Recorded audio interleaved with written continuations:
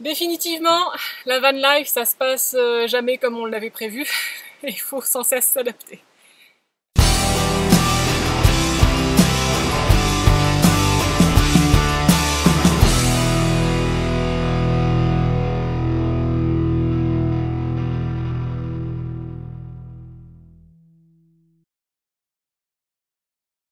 Salut tout le monde Bon, me voilà euh, à la lisière de la forêt. J'ai Arsène qui est là-bas près de la route. Et moi je m'apprête à aller dans cette direction. Ah, ici derrière moi. Euh, c'est un chemin qui va m'emmener sur ce qu'on appelle une terre publique, c'est-à-dire une terre, euh, comme son nom le dit, euh, qui appartient à tout le monde. On, les appelle aussi les terres de la couronne au Canada. C'est ma première expérience, donc j'ai choisi une destination qui est pas très très loin euh, je vais être à 2 km euh, de la route elle-même et puis de, des premières habitations, donc je ne suis pas non plus au bout du monde. Euh, par contre, ce qui va être rigolo, c'est que je ne sais pas si vous avez vu l'état du chemin. Attendez que je vous montre ça. Donc j'ai des grosses bosses, des... alors c'est plus de nid de poule hein, rendu là, c'est autre chose. On est à un autre niveau. Donc il va falloir que je passe ça. Euh, je me suis, euh, j'ai été voir un petit peu plus loin euh, à pied, il y a 5 minutes, pour aller voir quel était l'état du chemin. Donc l'état du chemin est bien meilleur à pied. Reste que c'est ce qu'on appelle un chemin de garnotte, un chemin de gravier. Là, il n'y a pas de... Voilà, c'est un chemin de terre et de gravier. j'ai choisi cette destination-là aussi parce qu'il fait super beau, donc le chemin est très sec. Et même s'il y a des trous et un peu de boue à certains endroits, c'est quand même très minime. sachant que je n'ai pas de plaque de désembourbement, donc si jamais je m'embourbe, je suis le barrer. Donc j'ai voulu éviter ça pour euh, cette première fois. Alors ça, c'est exactement ce que j'aurais aimé ne pas trouver sur le chemin. C'est une assez grosse flaque. Parce que Arsène, il est, c'est un, un, petit camion, donc il a quand même un bon moteur, mais c'est pas du tout un 4x4.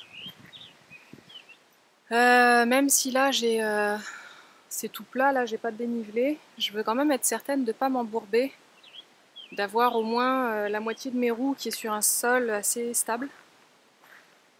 Euh, donc là ça devrait être pas mal, mais quand je vois de l'autre côté que apparemment il y a un pick-up ou euh, un autre gros véhicule qui est passé, lui il l'a pris par la gauche. Il a laissé des sacrées ornières.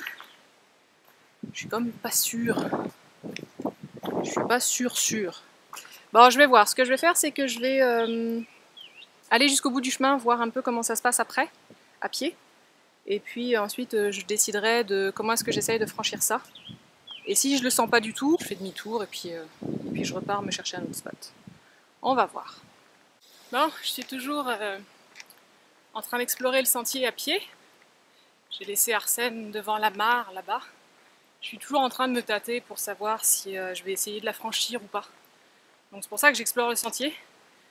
Je me suis armée d'un petit bâton, petite badine, parce qu'évidemment, j'ai pas encore mis de produit anti-moustique et j'ai déjà euh, une saloperie de mouches noires qui me tournait après tout à l'heure.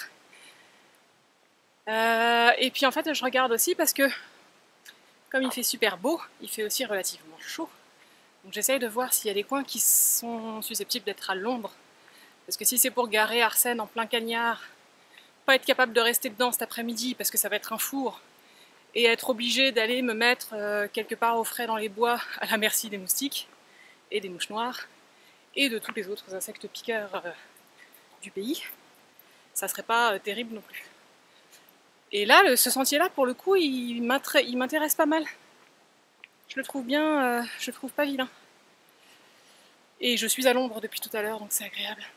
Euh, voilà, donc je continue ma petite exploration et puis je vais regarder tout à l'heure si, euh, si je franchis la mare ou pas.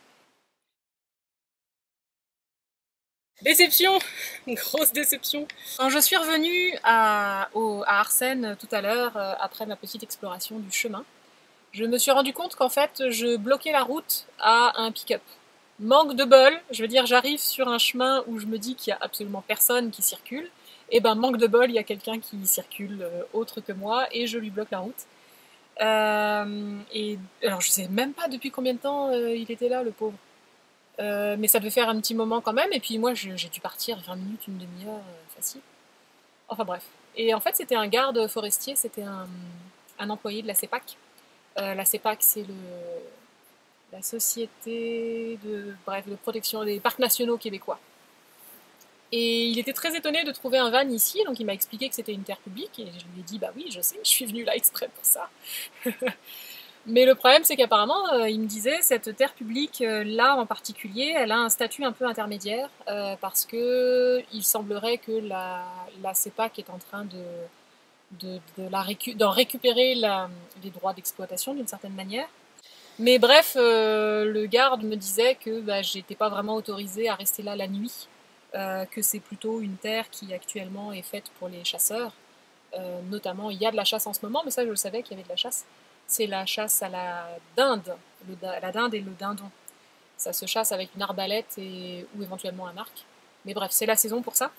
Euh, J'avais pas trop trop peur de me faire tirer dessus là, mais. Donc euh, voilà, il m'a plutôt euh, fortement suggéré de prendre mes clics et mes claques et de faire demi-tour. Il était très sympathique. Finalement, je l'ai traversé, la maudite mare, euh, parce que pour faire demi-tour, il fallait que j'aille un peu plus loin, où, où le chemin était plus large et me permettait de retourner le van. Et donc je l'ai traversé deux fois, cette maudite mare, qui me faisait si peur. Là, je suis euh, toujours sur le chemin, mais je suis en train de sortir et de revenir vers la route et vers la civilisation. Je suis un peu déçue. Euh, il va falloir que je me trouve un autre spot pour ce soir et que je me réessaye euh, à aller dans une terre publique, terre, un endroit sauvage comme ça, comme je voulais. Je vais me réessayer une autre fois. Je vais me réorganiser. Donc, comme toujours, comme je le comprends avec la vie en van, il faut s'adapter.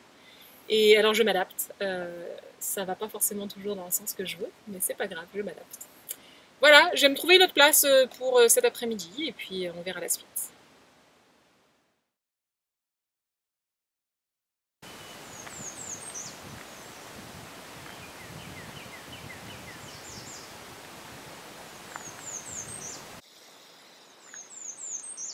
C'est plein d'oiseaux, c'est super agréable.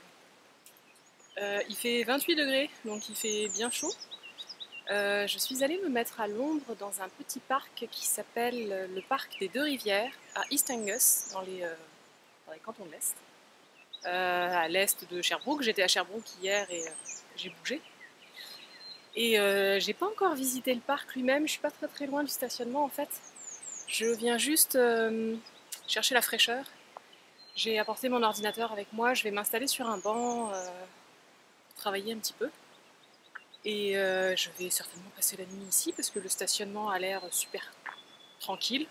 On est loin de la ville en fait. Euh, le parc est euh, pas mal excentré par rapport à la petite ville de East Angus. Et voilà, je vais passer mon après-midi là. J'ai de l'eau avec moi parce qu'il fait vraiment chaud. Et ça devrait être très cool. Donc je vais relaxer.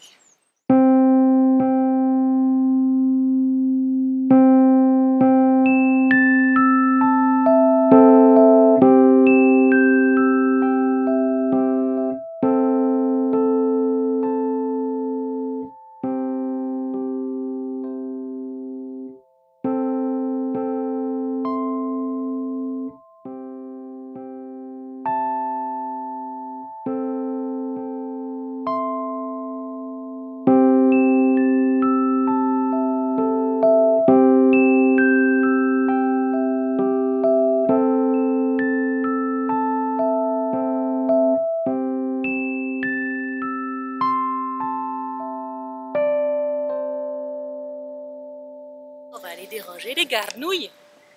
Alors je vais essayer de vous montrer les petites grenouilles que je viens de déranger en arrivant dans la vase. Il y en a une qui a sauté, c'est pour ça que je l'ai vue. Voilà, c'est des petites grenouilles vertes que j'essaye de ne pas me vautrer dans l'eau. Voilà. Regardez, il y en a une là. Et puis il y en a une autre là-bas et une deuxième un petit peu juste derrière.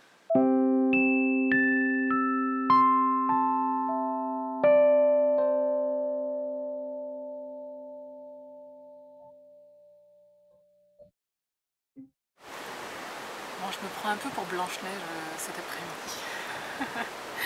il y a des oiseaux tout autour de moi, il y a des écureuils qui jouent dans les... Enfin, qui jouent, ils se chamaillent plutôt, ils se chicanent.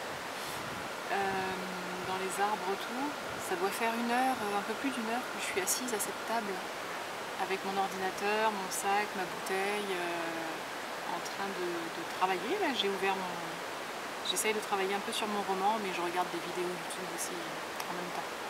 On se refait pas. hein. Enfin bref, donc je suis super bien installée et il est tellement, euh, charmant ce parc que je vais peut-être rester euh, encore toute la journée demain et peut-être mettre une deuxième nuit, va savoir. Il n'y a pas beaucoup de monde parce qu'on est en semaine, il y a quelques promeneurs, mais euh, il n'y a personne qui est, venu, qui est venu me voir depuis que je suis là. Donc, super après-midi, quoi. On est bien. Fait, c'est un peu ça que je suis venue chercher, moi, quand j'ai commencé ce projet de van life. C'est que je me disais, je vais me trouver des endroits super cool dans la nature pour pouvoir travailler euh, pépère, à l'ombre, euh, dans un hamac, dans l'herbe, les pieds dans l'eau, enfin n'importe quoi, ce genre de choses. Une table de pique-nique dans un parc euh, québécois, ça me va très bien aussi. Voilà, donc je profite de mon après-midi, c'est super paisible.